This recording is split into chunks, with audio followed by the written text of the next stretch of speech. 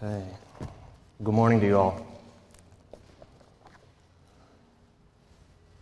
Well, as Jeff was saying, there truly is nothing like holding one of these children in your arms that have been moments away from death, and they're alive because you were standing out there preaching the gospel, calling out to those going inside. Looking into the eyes of one of these children that have been saved will truly change you. And we hope to be an encouragement and a blessing for you, brothers and sisters, today. I'm very honored to be here speaking with you today as someone who has no earthly right to be standing in this pulpit today. I come from a very small town in Arizona in the United States that people make jokes about, that that's not so much of a favorable place to come from. And yet here I stand today as a servant of Jesus Christ and of his gospel, preaching his word to you, and I'm very grateful and honored to be here. I hope that this talk will be a blessing to you. The order of our talks today will come at you in that I want to open up in speaking about the theological foundations of this fight. I want to tell you what Scripture, what God's Word says about this issue, how God talks about it, because, brothers and sisters, one of the main failings in our nation um, under the banner of the pro life movement has really been not approaching this issue as Christians, not speaking towards it the way God speaks about it. We've fallen into this category of wanting our message to be palatable, wanting to be liked by everybody, and that simply will not end abortion. God will not honor a fight that does not honor His word. And unfortunately, our societies have deemed Scripture, the truth of God's word, as hate speech. But even more unfortunately, many Christians act in such a way as to agree with that premise. They're ashamed of God's word. They're ashamed of how God speaks about this sin, calling it an abomination. They're ashamed to say these kinds of things because then the message will be deemed unpalatable to people's sensitivities, and especially to the men and women and families that are committing and considering committing this sin. But I do want to encourage you this is the way that we fight. And I want to encourage you consistently as Christians. We must speak about this the way that God does, and we must approach it with His Word at our feet. So I want to start today from a reading of Revelation, the 12th chapter. If you have your Bibles, you can turn there. I'm going to be starting in verse 1. And I really want to read this text to you as a foundation for how to consider both the cosmic nature of this conflict and the ancient nature of this conflict, and that it's nothing new, brothers and sisters. And God's Word does give us all of the foundation that we need in order to fight against this. Revelation, the 12th chapter, starting in verse 1. The Apostle John writing his revelation as he is exiled on the island of Patmos. And we have this beautiful vision of the conflict, the cosmic conflict that's taking place as God is divorcing unfaithful apostate Israel and taking into himself his new bride, the church of Jesus Christ. And in this, we get this wonderful picture. I want to read it to you. Verse 1 Hear the words of the living and true God. And a great sign appeared in heaven a woman clothed with the sun, and the moon under her feet, and on her head a crown of 12 stars. She was pregnant and was crying out in birth pains in the agony of giving birth. And another sign appeared in heaven Behold, a great red dragon with seven heads and ten horns, and on his head seven diadems. His tail swept down a third of the stars of heaven and cast them to the earth. And the dragon stood before the woman who was about to give birth, so that when she bore her child, he might devour it. She gave birth to a male child, one who is to rule all the nations with a rod of iron. But her child was caught up to God and to his throne. Let's ask the Lord to bless this message in prayer. Father, I come before you now, truly humbled, Lord, to be in the presence of your people, God, half a world away from where you have placed us to fight against this in our nation. And God, I confess to you, we confess to you, our utter ineptitude, God, to fight against this in our own strength, in our own giftings. God, we are in desperate need of the power of your Holy Spirit. to awaken us, to equip us, to convict us of our own apathy, of our own indifference towards the least of these, towards our smallest neighbors. God, I cannot teach your people today. I need you to speak to them through your word and to communicate clearly. I only pray that we are forgotten, that this message is remembered and carried to the ends of the earth, Lord God. And I do pray that you receive all of the glory for it. In Jesus' name we pray. Amen. So we see in that verse that the desire of the dragon is to abort the work of Christ. And all throughout history, if you look from Genesis to Revelation, you see that this is the expression of the conflict between how the Bible phrases it the seed of the woman and the seed of the serpent. In Genesis chapter 3, when our first parents sinned and fell in the garden, they partook of the fruit of the knowledge of good and evil and sinned against God, and the curse entered and corrupted everything about us. The fall, as theologians put it, we see in that moment God do something unexpected. We see the proclamation of the first evangel. We see the good news that the seed of the woman will crush the head of the serpent. We see the promise, even in our moment of greatest weakness and greatest helplessness before God. God, rather than judge us and condemn us in that moment, proclaims a measure of His grace, promising that there will be in this hostility between the seed of the woman and the seed of the serpent a cosmic victory. And then all throughout Scripture, you see the same theme appearing over and over again from Cain's uprooting, the first murder to ever take place of his brother Abel, asking God, Am I my brother's keeper? Abel's righteous seed, and then the replacement of that lineage with Seth, to the family of Noah and the preservation of the righteous from the flood, the seed, the righteous seed, to Abraham and the patriarchs, to the Exodus execution of the Israelite male firstborns, in which, by the way, the Hebrew midwives refused to execute Pharaoh's decrees to have those babies destroyed, standing against the magistrates of their time. The preservation of King David from Saul's murderous rage and the lineage of the king. The constant temptation of God's covenant people, Israel, to murder their own children, which sent them into exile. To the jealous, bloodthirsty King Herod and his desire to cut off the Messiah's entry into this world by slaughtering the children of Bethlehem because there was another king coming, and he will not share his throne with any earthly ruler or leader. And in Satan's efforts to tempt Jesus, even in the course of his earthly ministry, tempting him into killing himself, subjecting his ministry to demonic oppression, and in believing that he finally succeeded in seeing Jesus nailed to the cross. The conflict of the seed of the woman and the seed of the serpent, all throughout history in bright and vivid living color in the scriptures.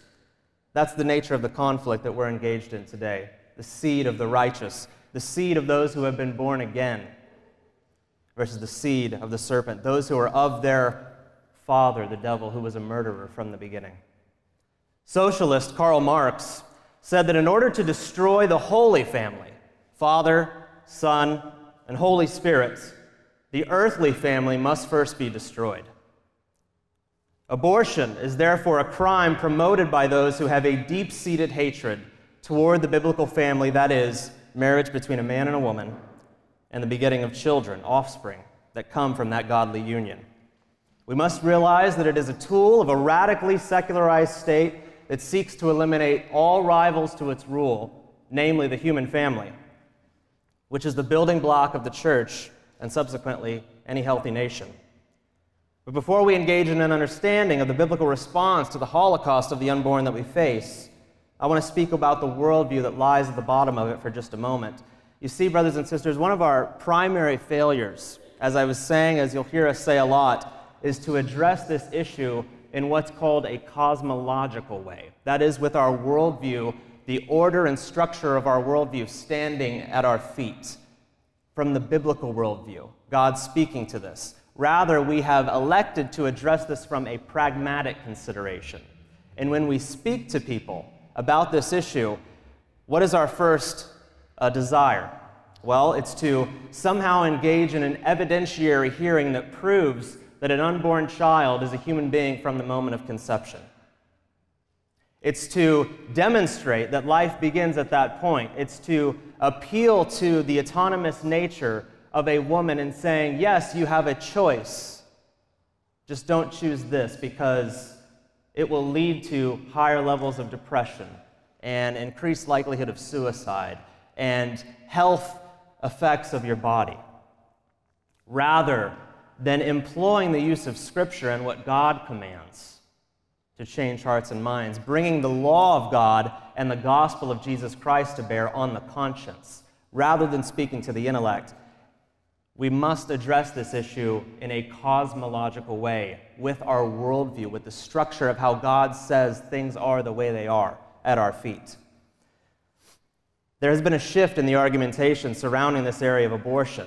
Now, you will no longer hear pro choice camps use argumentation and call children in the womb a clump of cells, a mass of tissue. We certainly don't hear those things outside of the abortion mills where we are anymore. Sure, we may hear them every now and again, but what you hear now, and what I've heard for the past three years that I've been doing this ministry in Arizona, you'll come into contact with a woman who's going into an abortion mill. You will say, Ma'am, please, don't murder your child. Let us help you today. Let us provide for your needs. Let us care for you. I want you to know that God commands you not to murder. God says in His Word that He hates the hands that shed innocent blood, and you're going to stand before Him and be judged for what you're doing. And I don't want that for you. I want you to know Jesus. I want you to know the power of His forgiveness and His salvation. And oh, by the way, we'll help you with anything that you need. And do you know what women say? They say, Well, I know it's a human being. I've tried many times to stand out there, and I will employ evidences. I will do those things. But do you know what we hear from the women going into these places? I know it's a baby, but I ought to have the right to still kill it. And this is the hard truth that we have to come into contact with, brothers and sisters.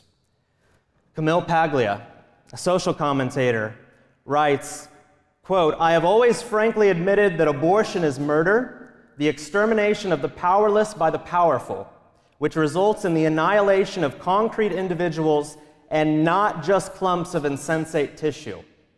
Pro choice writer. Antonia Senior, a British journalist, writes, quote, My daughter was formed at conception. Any other conclusion is a convenient lie that we on the pro choice side of the debate tell ourselves to make us feel better about the action of taking life. To defend women's rights you must be prepared to kill. In a Salon magazine article titled, quote, So What if Abortion Ends a Life? Mary Elizabeth Williams, the author, says that, quote, a fetus is indeed a life, a life that is worth sacrificing. If I could impress one thing on you, brothers and sisters, it would be this reasoning on the basis of trying to prove that the unborn child is a human being in this fight is futile. Those evidences are necessary to know. But I assure you, if the gospel is not at our feet, if we are not preaching repentance, if we are not preaching the turning away of sin to come to Jesus for forgiveness and salvation, we've already lost. We've already lost this fight. Our societies, including the church within our societies, have been deeply impacted by an increasingly secular worldview. We see it everywhere, which at bottom are really nothing more than ancient pagan beliefs that are simply dressed in new outfits. Due to pro choicers losing the biological and scientific grounds of this fight, they've resorted to something else. So they're not denying anymore that an unborn child is human. They're saying, yes, I know it's a human being, we ought to have the right to kill it. So, how and where does this methodology and this worldview come from that they're using to justify it? Well, I want to inform you and hopefully equip and educate you just for a few moments on what that is. It's called personhood theory. And it basically says this if I could sum it up, and that is that the unborn child in the womb is certainly a human being. It is a human being, the, the species, there's uh, certainly no disputing that. It's not a giraffe, it's not a dog, it's a human being. However, that human being is not yet a person until sometime in the near or distant future in which they obtain a certain level of consciousness, awareness, autonomy. It's a very arbitrary and it's completely nonsensical in its distinction to define when life begins. So please understand that the pro choice side of the debate is not standing on anything biological or scientific. They are standing on a religiously grounded worldview, on a faith commitment, and how they define when life begins, and if they have the right or not to take it. This worldview, though, is known all throughout history as dualism or Gnosticism.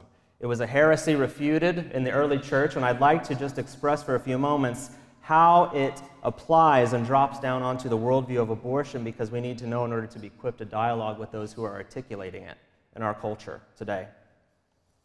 Dualism is the division of reality into two stories, where the upper story, the higher realm, deals with the spirit and the immaterial, while the lower story deals with matter and the material universe. This dualism sees no value in a living human body, but places all worth in the mind or the consciousness. Rene Descartes put it this way I think, therefore I am. Personhood theory.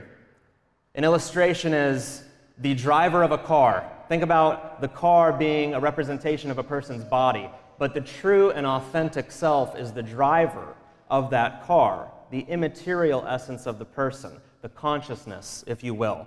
The body is not valuable. Nothing about the body or the frame of men and women made in the image of God warrants any kind of protection. It's only the immaterial essence of the person that is valued and protected. And this is common because in our nation, Roe versus Wade, the infamous court decision that decided that mothers and fathers had the right to murder their children within the first 12 weeks of their pregnancies, defined human beings as potential human life. That was how they got around abortion and pushing it into the public sector. According to personhood theory, the body is nothing more than raw material to be controlled and manipulated, subject to the true self, the upper story. Being a member of the human race is not enough to qualify for protection. The baby in the womb has to earn their personhood by obtaining a certain level of cognition, autonomy, or self awareness. This belief system really gained traction under Charles Darwin, the father of modern evolutionary theory, who believed that if the body is not the handiwork of God revealing His will, right? So if our biology does not tell us anything about who we are, if my being a male does not tell me how I'm supposed to live according to the dictates of God's word, if it's not revealing God's will, it is a morally neutral realm where human beings can impose their will. And this is the worldview that gives us abortion, homosexuality, sodomy, transgenderism. It is that the true and authentic self is contained within the human person, and thus there is a fragmentation of the human person between body and the immaterial essence, the person. Nancy Pearcey puts it this way The key to understanding all the controversial issues of our day is that the concept of the human being has been fragmented into an upper and lower story. Secular thought today assumes a body person split with the body defined in the fact realm by empirical science. Yeah, it's a human being. And the person defined in the values realm as the basis for rights. But it's not a person. This dualism has created a fractured and fragmented view of the human being in which the body is treated as separate from the authentic self. So, in our societies, brothers and sisters, we've cut out a new category the human non person.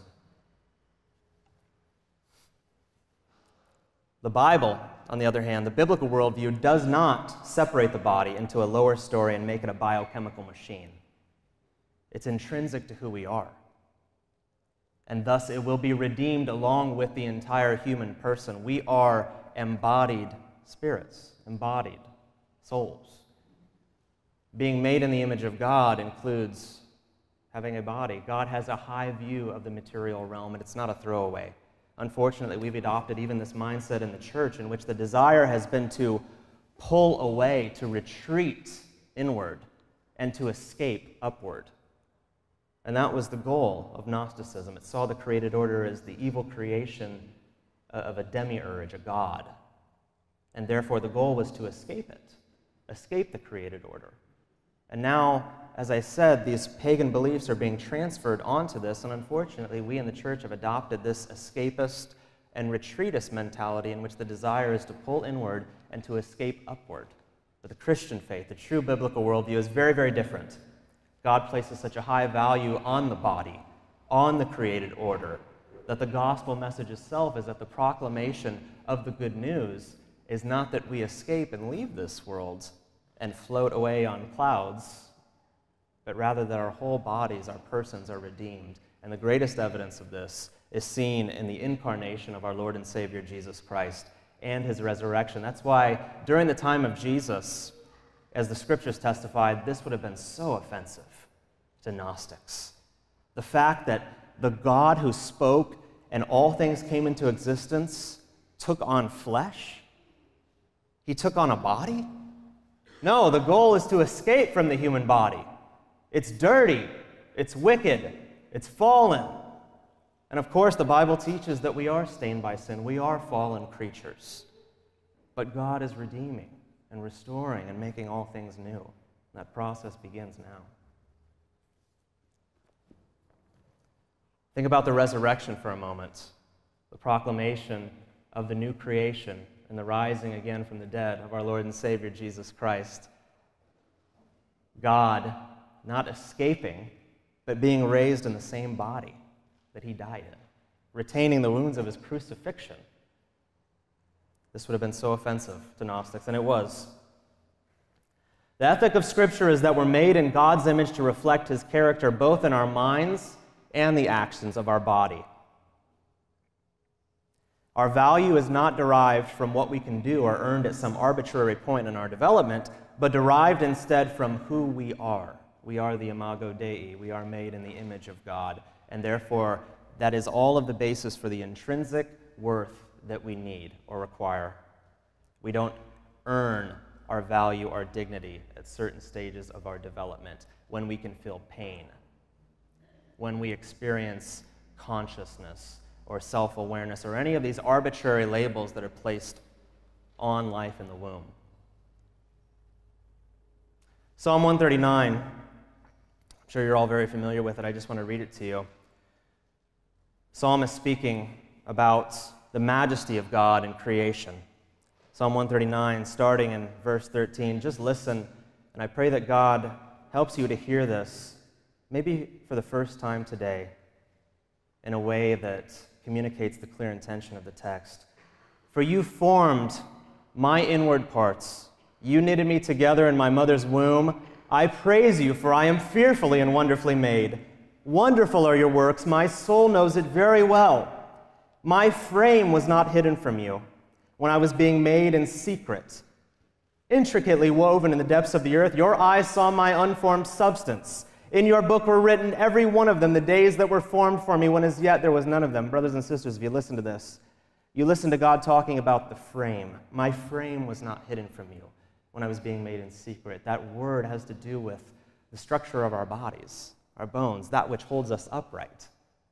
Our frame was not hidden from God. He was there forming us in the womb. And the picture that the scripture paints is that God is the grand weaver He's weaving together all the threads of our existence within the womb. Within your mother's womb, you were fashioned and formed and intricately and intimately knit together within your mother's womb, as are we all. God creates our frame, it's not hidden from Him. As He says earlier, where can we go from your spirit, or where can we flee from your presence? Nothing is hidden from the sight of God. When I was being made in secret, intricately woven in the depths of the earth, your eyes saw my unformed substance. That word in the original language, the unformed substance, is the word that we use to get the word embryo in our English language. God sees us as an incomplete vessel at the earliest stages of development. Why? Because He's there. He has His hand upon us, forming all the days of our lives before we even exit the womb. He says as much. In your book were written, every one of them, the days that were formed for me, when as yet there was none of them. God is already giving meaning to every breath. And this, of course, is the basis, the image of God, for the prohibition of shedding the blood of man, of murder, that God gives. In Genesis chapter 9, verse 6 Whoever sheds the blood of man, by man shall his blood be shed, for God made man in his own image. In God's case law in the book of Exodus, he gets even more specific in Exodus chapter 21, if you'd like to turn there. Verses 22 through 25, God's case law giving an example about a pregnant woman.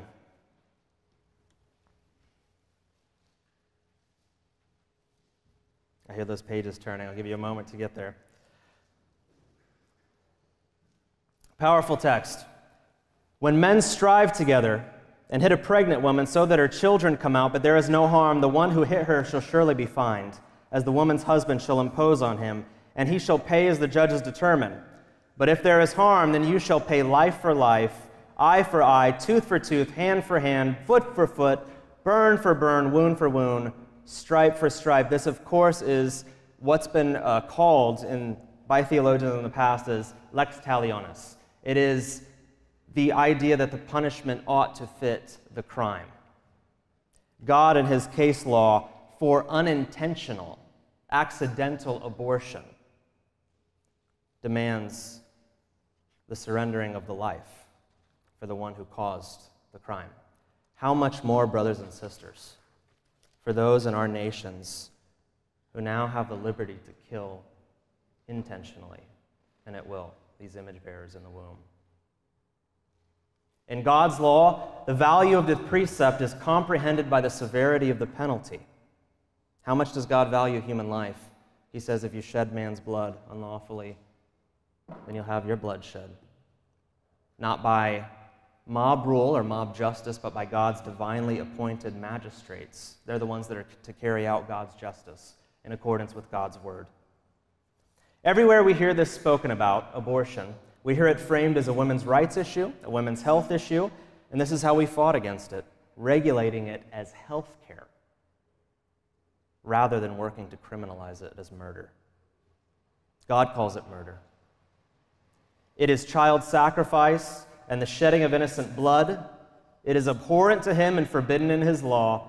God hates the hands that shed innocent blood. Proverbs chapter 6. In God's law, it's amazing. If you look at the foundation of it, if you were to sum it up, what would it be? It would be that the guilty don't go free. The guilty are punished in accordance with God's righteous and just sanctions. And the innocent are not punished because they're innocent. In our societies now, we see the emergence of abortion on demand, and we see those that are innocent in the womb being punished, while those that commit this are given every protection under the law. As the prophet Isaiah says, Woe to those who call good evil and evil good. Choice is just used as another euphemism for murder, employed by those who have divinized their own autonomy. They've made choice their God. Well, it's not wrong as long as it's my choice. It doesn't matter what I choose. I can choose to keep this child, I can choose to pay to have this child killed, but either way, it's not wrong. It's the absolute and raw expression of my will. Who are you to tell me otherwise? The God of the will, false God of choice. This was the lie of the serpent in the garden, tempting our first parents, who said, when you eat of the fruit, your eyes will be opened and you will be as gods, knowing and determining for yourselves between good and evil. A task only for God. And that's what mothers and fathers do in these killing places. They decide in their own eyes between what's right and what's wrong by their own autonomy, taking it on themselves to play God and decide who lives and who dies.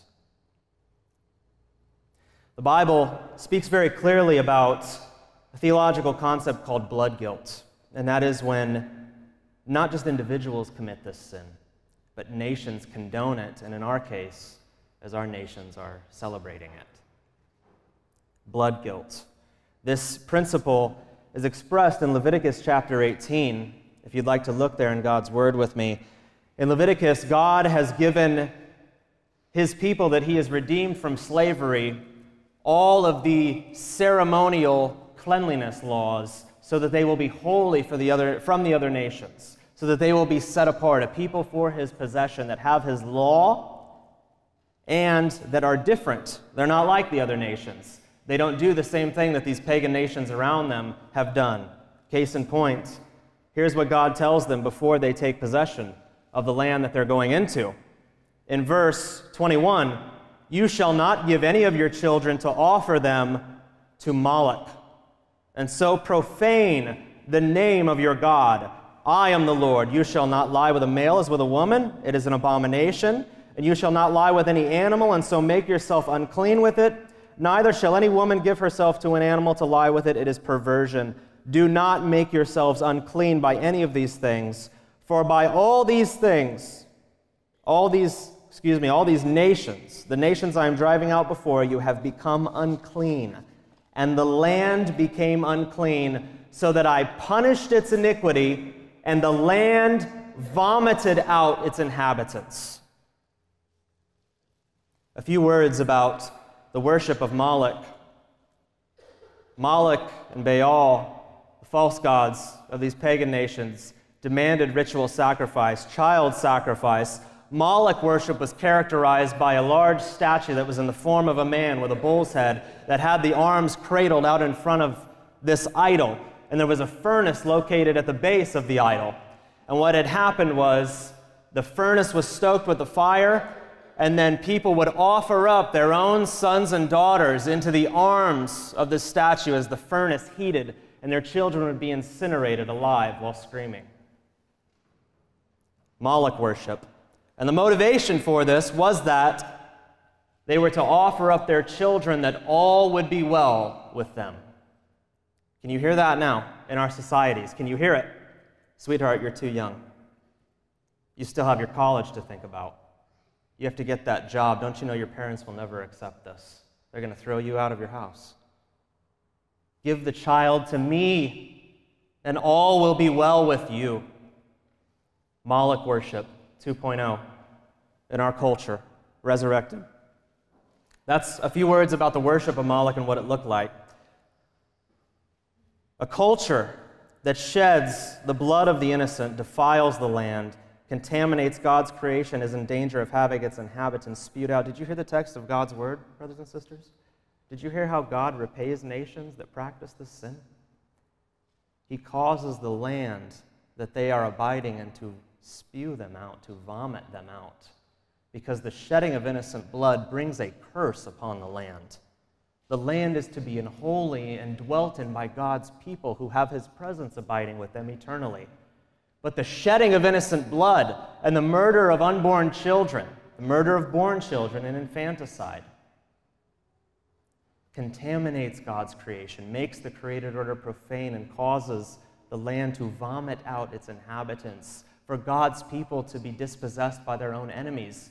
And if you don't believe that this happened, look at the nations. Before Israel entered the promised land, God promised them, I'm casting these nations out for committing these abominable things. And if you do the same thing, I will spew you out, just like I'm doing to them. Don't think for one moment. It's so tempting, brothers and sisters, in my nation especially, in good old America we're so individualistic, we're so prideful in our national heritage and where we come from. We believe that we're God's nation. God bless America. We don't believe that God would ever dispossess his baby. The land of the free and the home of the brave, but God can and he will if we don't repent. No nation has any bearing on God's favor. We have no reason when we allow this sin to demand or expect any blessing from God. Israelites and the nation of Israel did not obey God. Jeremiah chapter 32. I want to turn there so you can see that for a moment. Prophet Jeremiah prophesying. In the context of this passage, the prophet Jeremiah is prophesying to the nation of Israel when they're on the verge of going into exile. All of the covenantal promises to the nation of Israel in Deuteronomy chapter 28 are about to be invoked for Israel's violation of the covenant. And this is what God says Jeremiah chapter 32, the prophet Jeremiah prophesying. Starting in verse 30 For the children of Israel and the children of Judah have done nothing but evil in my sight from their youth. The children of Israel have done nothing but provoke me to anger by the work of their hands, declares the Lord. This city has aroused my anger and wrath from the day it was built to this day, so that I will remove it from my sight because of all the evil of the children of Israel and the children of Judah that they did to provoke me to anger. Their kings and officials, priests and prophets, men of Judah, inhabitants of Jerusalem, they have turned to me their back and not their face. They won't repent. And though I have taught them persistently, they have not listened to receive instruction. They set up their abominations in the house that is called by my name to defile it. Listen to this. They built the high places of Baal in the valley of the son of Hinnom to offer up their sons and their daughters to Moloch, though I did not command them, nor did it enter into my mind that they should do this abomination to cause Judah to, to sin. You see, in Moloch worship, another word about this, in the valley of Hinnom in Jerusalem, which Jesus equates in the New Testament as hell, essentially, Gehenna, where trash was burned. So, anytime you think about an abortion clinic or set foot around an area where they kill children, think about the fact that you're literally stepping into hell on earth. Topheth was the name of the place that was located in the valley of Hinnom outside of Jerusalem where child sacrifice altars were set up. Tophet means drum because what they would do is they would beat the drums while the children were incinerated in the fire to drown out their cries. And I think about this every time I stand outside of an abortion clinic and the Planned Parenthood or the Women's Center are blaring music on the loudspeakers in front of the building.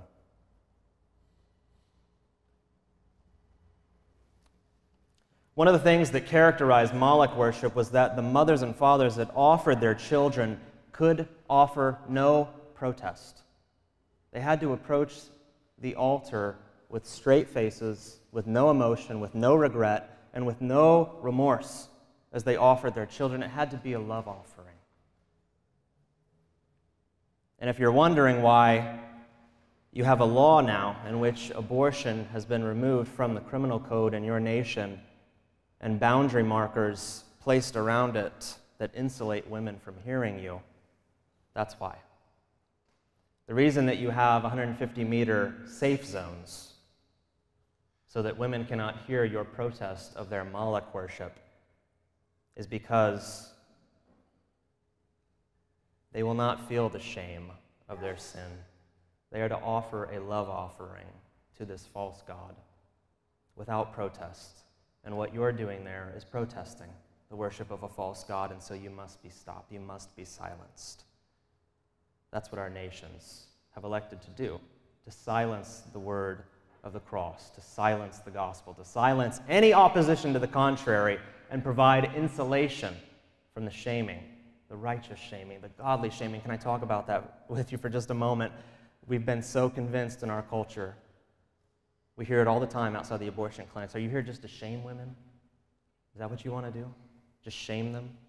Well, if I'm being honest, yes, I do. I want to shame them into seeing the horror of their sin so that they turn from it and they run to Jesus for forgiveness If you read the prophet Jeremiah in chapter 6, he says about the nation of Israel, they were not ashamed in their abominations. They forgot how to blush over their sin. Shame can be a righteous thing. And we all need to be ashamed of our sin and run to the Savior, the only one who can forgive us and cleanse us by his blood.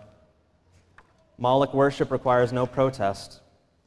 The nation of Israel detailed in Psalm chapter 106 says, They angered him at the waters of Meribah, and it went ill with Moses on their account, for they made his spirit bitter, and he spoke rashly with his lips. They did not destroy the peoples as the Lord commanded them, but they mixed with the nations and learned to do as they did. They served their idols, which became a snare to them.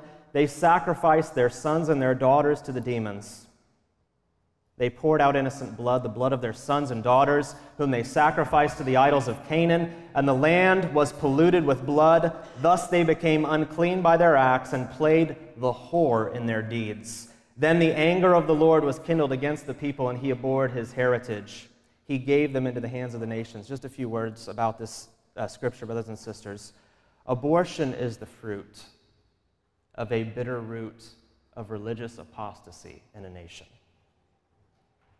It starts with playing the whore, spiritually speaking, rejecting the God of Scripture, rejecting His Word, embracing the gods of secularism, the God of the consensus, the God of my will, the false gods. And yes, women are not bowing down towards statues in our present day, but they are worshiping idols, as are we all outside of the reign of King Jesus in our lives.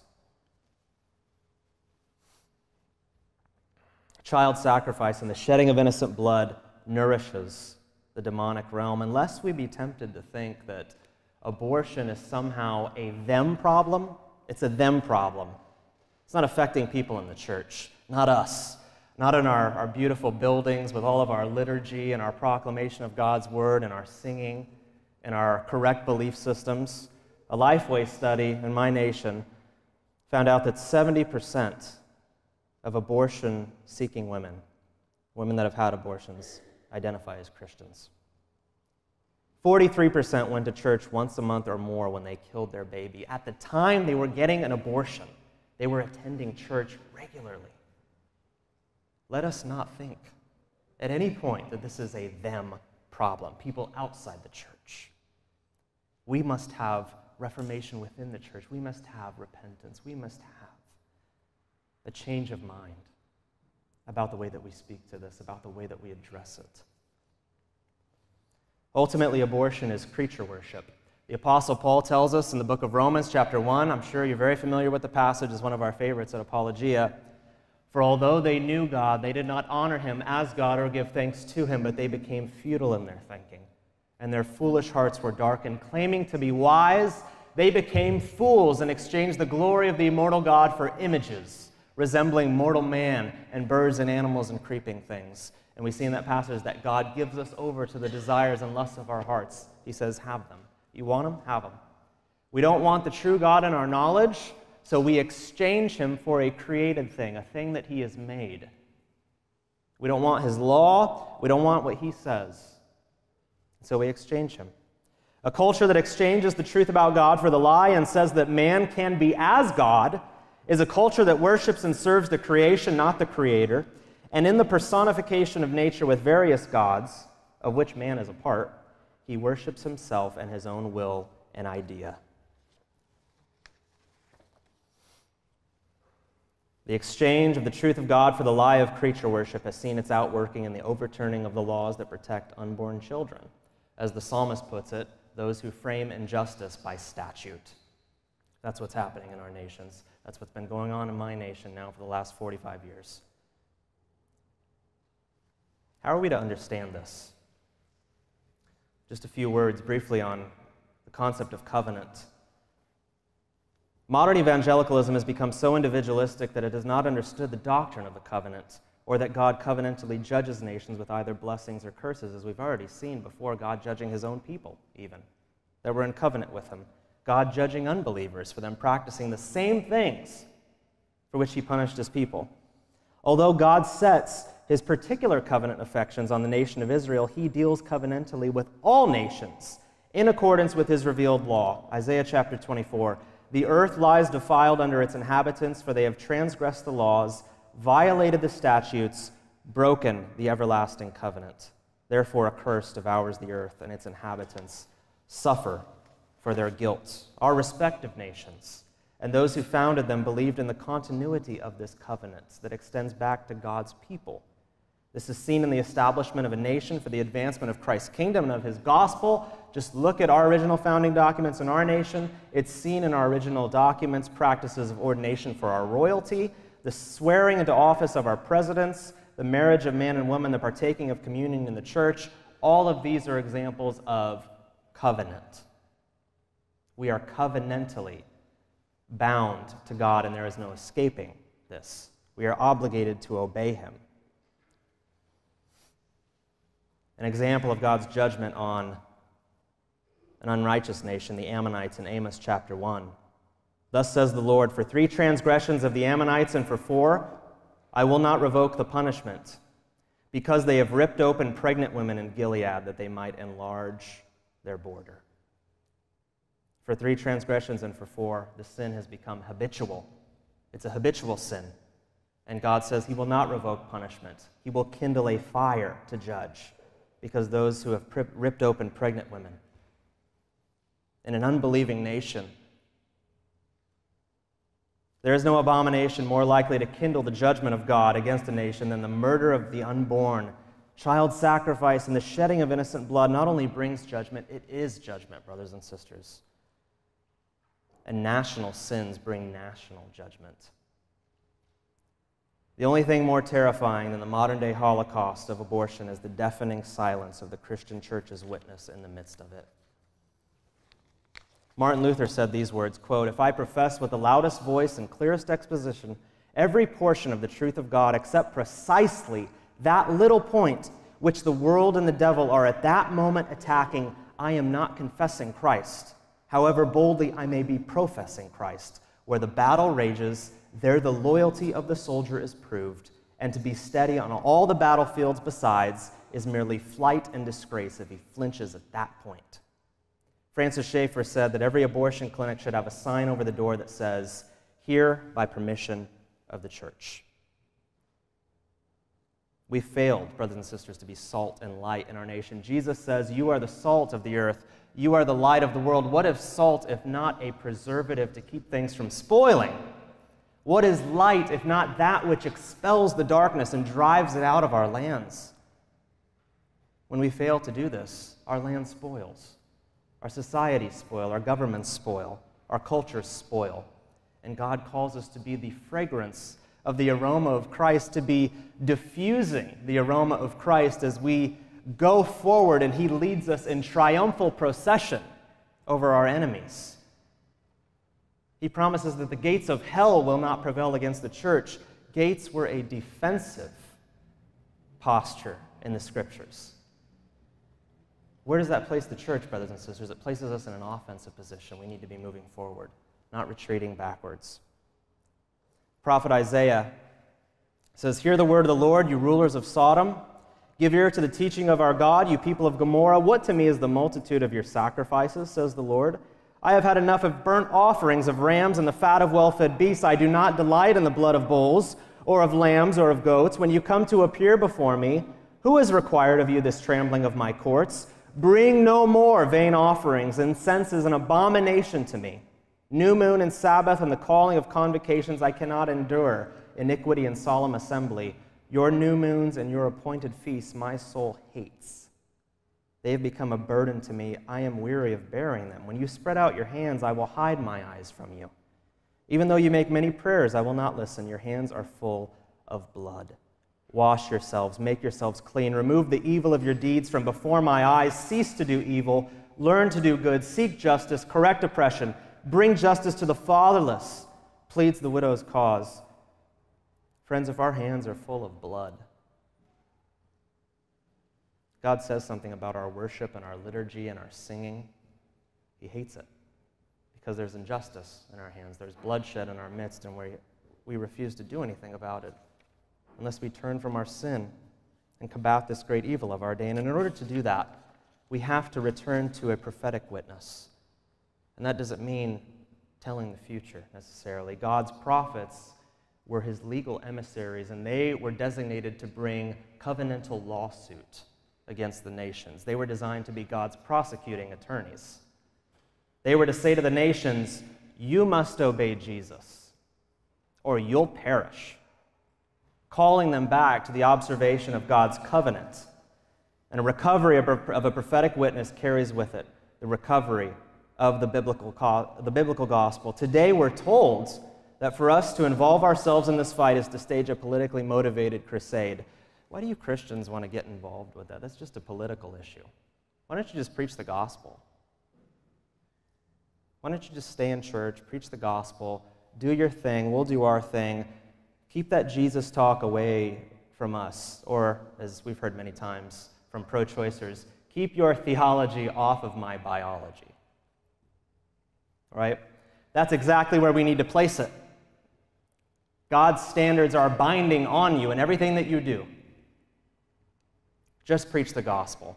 And by that, what we mean is justification by faith. And that is at the heart of the gospel that we can turn from our sin, that we can come to Jesus and be forgiven and experience new life and peace with God, and the cleansing of our sin and forgiveness and salvation and the gift of eternal life and the infilling of the Holy Spirit.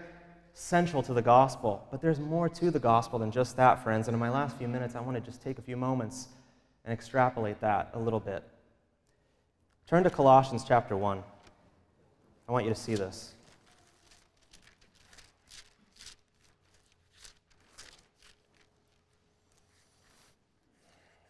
Colossians chapter 1, starting in verse 16. Talking about Jesus. For by him all things were created in heaven and on earth, visible and invisible, whether thrones or dominions or rulers or authorities, all things were created through him and for him. He is before all things, and in him all things hold together. He is the head of the body of the church, the beginning, the firstborn from the dead, that in everything he might be preeminent. For in him all the fullness of God was pleased to dwell, and through him to reconcile to himself some things. No. All things, whether on earth or in heaven, making peace by the blood of his cross. This verse, brothers and sisters, says that Jesus on that cross, what he was doing there was more than just purchasing individual sinners to be redeemed from every tribe, tongue, language, and nation. His blood was purchasing the cosmos. It was purchasing the created order that's been corrupted by our sin, the cosmos. We talked about cosmology earlier. Jesus, in his sacrifice on that cross, bought all things to be redeemed. The message of the gospel, the full orb, good news of the kingdom, is what we need to have a recovery of in our nations. Not just that Jesus saves individuals for heaven one day. Not just that. Of course, that's a benefit. Of course, that's a glorious truth that we all marvel at. But God, in the person of Jesus Christ, is reconciling the world to Himself, redeeming it, restoring it as far as the curse is found. Do you know what's left outside the authority of Jesus? if that is your proclamation of the gospel, nothing. Nothing at all. Here it is in a sentence God, in the person of Jesus Christ, bought all of this with his blood. Deal with it. That's the message of the gospel. The good news of the kingdom. Repent and believe, for the kingdom of heaven is at hand. Abortion is a gospel issue. And friends, we have to be accused of what the apostles were accused of, namely in Acts chapter 5. We hear so much by opposition from the church. Well, Christians would never do this kind of work today. They would never speak prophetically to their magistrates, they would stay in the church. But the most innocent blood ever shed, the blood of our Savior Jesus Christ, at the hands of his own people and lawless men, what was the accusation that was leveled against the apostles in Acts chapter 5. It was that you're bringing this man's blood upon us. Peter says in his address in the book of Acts, You killed the author of life, but God has raised him from the dead. And the accusation comes back You're trying to bring this man's blood upon us. That's what we need to be accused of today. Speaking prophetically to our magistrates and those in authorities to protect these children. The blood of these children is also on your hands. Turn and govern justly, do justice to the unborn. The shedding of innocent blood brings a curse. But the gospel is that Christ became a curse on our behalf. In becoming a curse, the execution of Jesus on the cross is God's merciful and just declaration that that which defiles the land, namely our sin, is placed on the one in whom there was no sin, that by faith in that execution, our hearts can be reoriented to God and the curse of our false worship lifted. Abortion is false worship. It's a product of a fallen heart. And the good news of the gospel is that the orientation of our hearts can be radically shifted towards worship of the Creator, the true God. What we say to these women who are going into these places is stop. There has been an execution for you today. There has been an execution. Receive this execution. Receive the righteous one's blood who was shed for sinners in their place. There need be no bloodshed today. There need be no execution of your own child, of your own son, because God has offered up his own son in the place of sinners. Our nation's sin of casting our seeds into the ground will lead us to being vomited out of our lands. But the righteousness that comes from putting our faith into the seed of the woman that was buried in the ground will once again bring forth righteousness in our nations. Christ became the curse that ought to have defiled the ground, but the land vomited him out, not for unrighteousness, but because of his resurrection from the dead, the ground couldn't contain him. His sacrifice is perfect, and it brings about the new creation. God desires a godly seed. He desires not just birth, but the new birth. That's why the enemy has attacked abortion with vehemently because if there is no first birth, how can there be a second birth?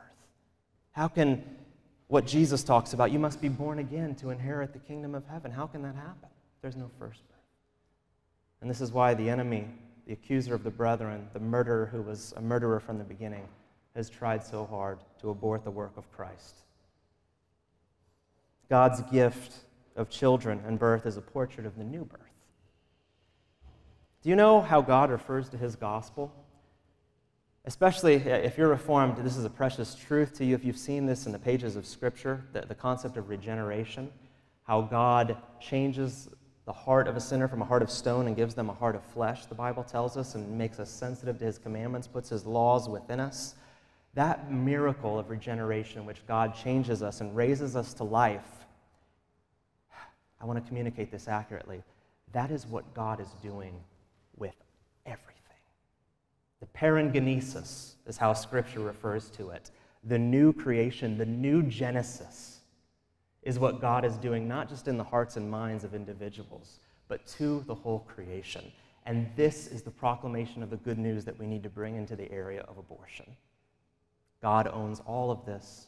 You're not going to escape his watch. You're accountable to him for everything that you're doing. You profess not to know him, God's word says that you do and you need Him for forgiveness and salvation.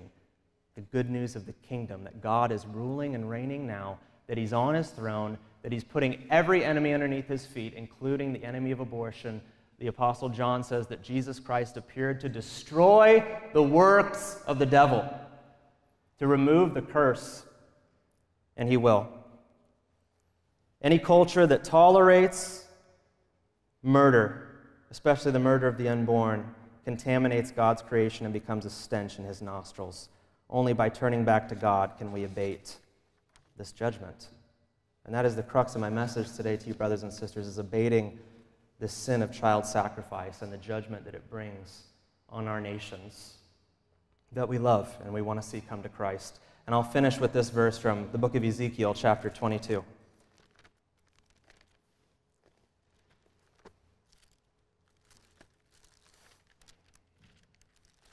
Ezekiel chapter 22, verse 30.